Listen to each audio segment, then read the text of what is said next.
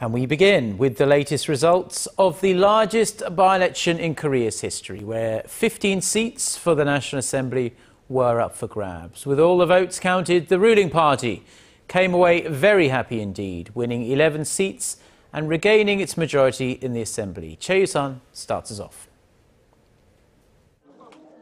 It's a victory for the ruling Saenuri Party. With a voter turnout of expected 32.9%, the ruling party took home 11 out of the 15 parliamentary seats up for grabs in Wednesday's by-elections. That allows the party to regain majority at the National Assembly. Despite the main opposition, New Politics Alliance for Democracy's unity with the Minor Justice Party in three constituencies in the capital region, only one candidate has defeated his ruling party rival.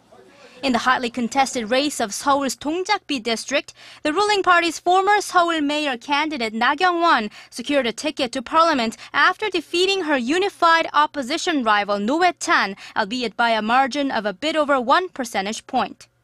In the Suwon-C district of Gyeonggi-do province, opposition candidate and political big name Sohn Hak-kyu bowed out to conservative rookie Kim Yong-nam, who garnered nearly 53% of votes.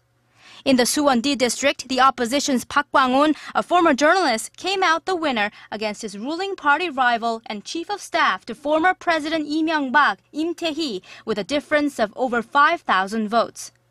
The ruling party swept the other three capital area districts, including Gimpo, where the ruling party's Hong Cheol-ho tasted victory against liberal political veteran Kim Doo-kwan. Securing all of the two seats in its traditional stronghold of southeastern Gyeongsang region, the ruling party also took all three seats from the central Chungcheong area. As for the opposition, it won three seats from its political base of southwestern Jeolla region. But the fourth seat in the Suncheon Gokseong district was claimed by President Park's close aide Lee Jung-hyun, the first time ever by a ruling party candidate. Choi You-sun, Arirang News.